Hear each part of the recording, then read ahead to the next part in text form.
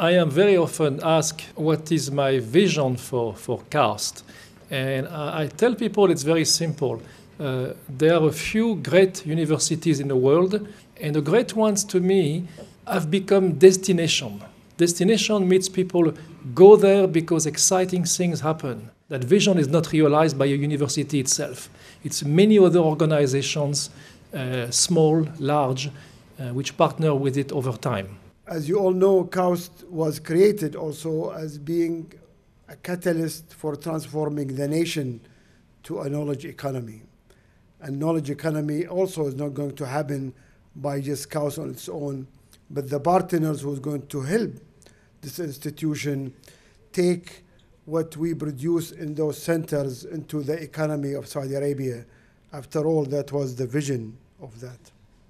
Dow's interest in KAUST from day one was a vote of confidence. We're all proud to be voted in confidence by a company like Dow.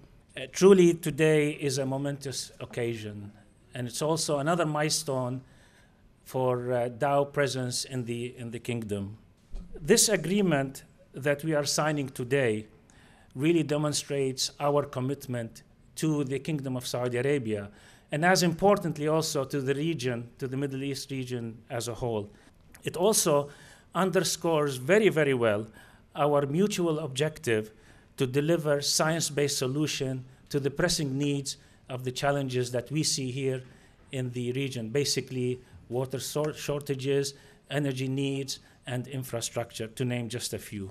We think it is an ideal setup to partner with KAUST, KAUST being such, such an excellent location with their excellent academic staff to do fundamental and basic research, and us focusing on developing new products and application for those uh, knowledge and for the benefit of the kingdom and uh, Dow and the other companies that are working here.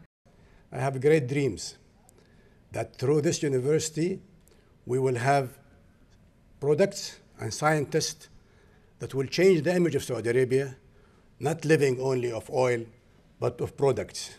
I believe that Dow is a great company, and I, as a Saudi citizen, would like to thank them for sharing our dream and for helping us to achieve our dream.